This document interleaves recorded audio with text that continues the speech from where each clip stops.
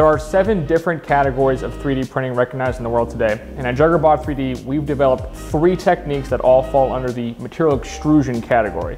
The first is fused filament fabrication, or FFF, which is a really well-renowned and long-standing additive manufacturing technique, great for a variety of different applications.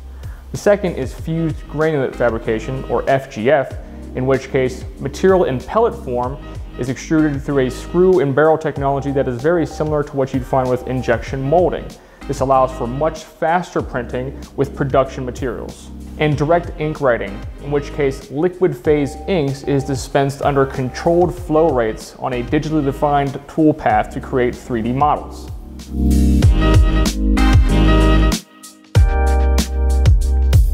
Each technique has its own place and purpose. Many times, an application will lend itself better to one technology over the others. Sometimes part size or part geometry is a driving factor, but a majority of the time, the technique will be decided ultimately by the material that's best fit for the application.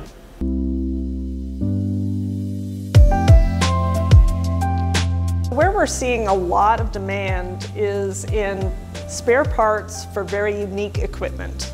These are the places where it's really hard to find some of the some of the spare parts that you need, and that's where um, we find the greatest demand.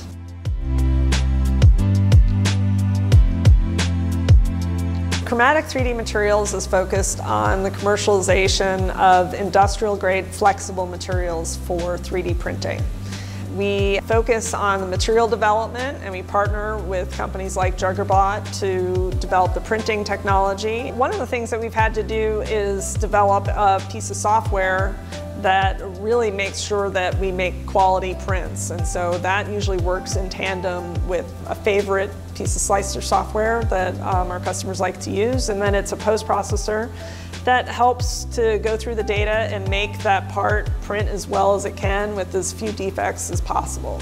The materials are really the, the cornerstone of the business. So the materials are, are materials that are printed by reaction and what that allows us to do is that because it reacts as it's going to be put in place, is it allows us to print very solid parts that are flexible and very durable. So we're able to attain really what we call industrial strength materials that are good for mechanical parts, just like any other plastic part that you encounter. Our primary focus right now is on printing thermoset elastomers, and those are specifically polyurethanes. Um, we definitely envision in the future that we'll be extending that to other materials like epoxies or polyesters. But for now, we're really focused in the polyurethane elastomer space. The biggest difference with our materials are by far its strength. Parts that are printed with our materials can go directly into real applications. The materials that we print with are no different than the parts that are on the bottom of your shoe or the roller of a roller blade. It's tough material that's made to be beat on. And so, um, so that's really what's special about it. Most flexible materials that you can print with today that have that same level of flexibility don't have that same level of durability.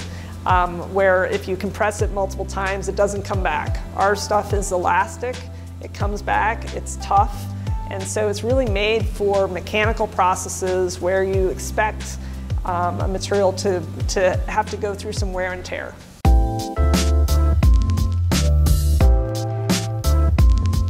Direct ink writing is different. It, it, looks the same as traditional fused filament printing in that it's laying something down in a line that you have to follow and trace but it actually is, is quite a bit different because it's really that you're printing with like an ink, a liquid, or a gel as opposed to a more solid filament. And so that actually ends up meaning that you need to um, keep an eye on things like how it's filling space. The advantages are that you can make a 100% solid piece, which is fantastic.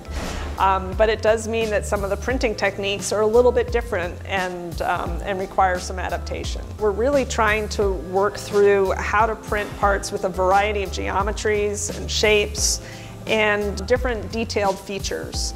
And those are things that where we need to rethink how those features are applied to the part. And the way we're trying to address that is through developing these software tools that can adapt the, um, the printing paths and the printing code to, to kind of reset those rules for printing so it's all in, all in one box.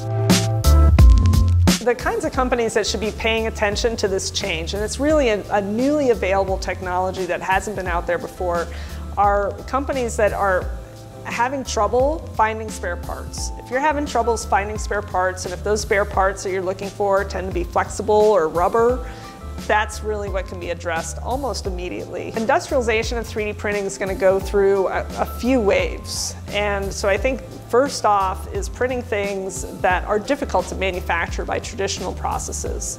Another place where we find is a really good application is actually very large parts, and that's where our partnership with Juggerbot has just been fantastic because Juggerbot has such a nice, large printing platform. So in large parts, it's actually very expensive to make large molds for making cast products and things like that. So that's another great place for 3D printing. The place where I'm really excited about for 3D printing that I think is going to take a little bit longer is when you can start to rethink design of materials. These are the kinds of things that you can do with 3D printing that you could never really put together with conventional processes. There's some level of patience where the technology has to get ready and, and I know our team is working day and night and Juggerbot's working day and night to, to get this technology advanced and ready. That's number one.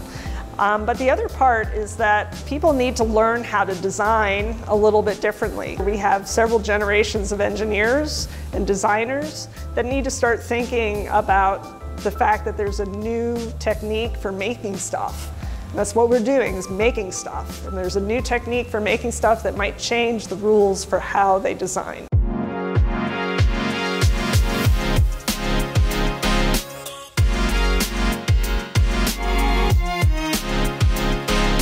in five years, I expect that Chromatic 3D Materials will be supplying um, spare parts to a, a, very large fraction of our transportation industry. I think that's we're really headed strongly down that field. Um, I also think that uh, some of the other elements of our technology will, will be starting to, to come into play. One of my dreams is that we're going to be 3D printing pillows and mattresses um, that are customized. Um, that's definitely within our five-year scope, and I, I think we'll be getting there. You know, the 3D printing industry is just growing so fast, and it's hard to get your mind around a $10 billion industry that's growing 30% every year. That's really tremendous growth, and what that means is that 3D printing is just finding its way into virtually all the things that are around us on a daily basis. Now, as, as large as 10 billion a year is, it's nowhere close to $1 trillion of manufacturing. But I really think 3D printing can, will, be, will be growing and continue to grow because the, the technology just keeps advancing.